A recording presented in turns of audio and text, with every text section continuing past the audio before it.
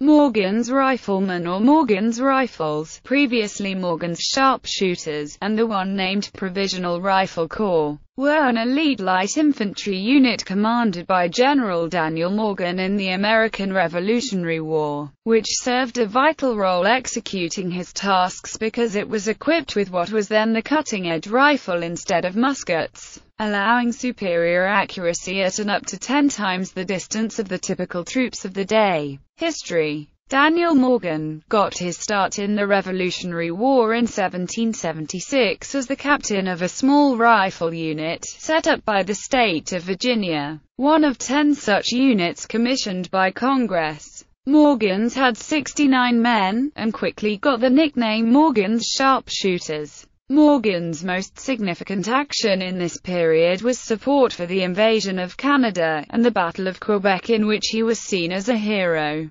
Despite General Benedict Arnold's overall failure and their subsequent capture, in early 1777, when Morgan was freed from captivity, he was commissioned as a colonel and assigned command of the 11th Virginia Regiment, and a few months later was also instructed by George Washington to form a provisional rifle corps, men skilled with the use of the long rifle, from his and other nearby regiments. Having done so, his first assignment was to harass Colonel William Howe as he retreated through New Jersey. Morgan did so by having his 500 riflemen snipe the enemy troops as they moved, using their longer range to do so from safety, an unusual tactic for that day. Sent to join the Northern Army headed by General Horatio Gates. Morgan's riflemen helped establish better conditions for the coming Battle of Saratoga, by a series of quick attacks on their Indian allies,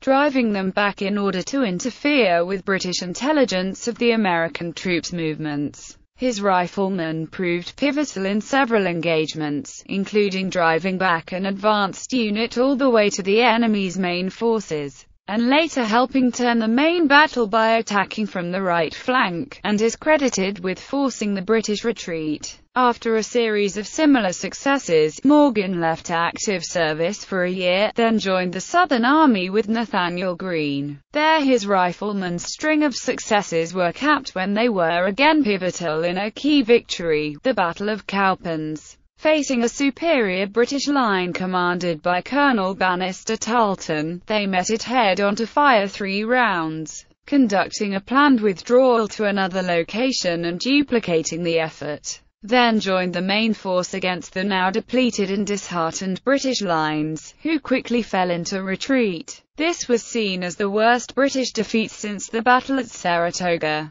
both victories credited to Morgan's riflemen and described as key turning points in the war. Popular media Morgan's riflemen were a key model for the fictional unit portrayed in the hit movie The Patriot by Mel Gibson.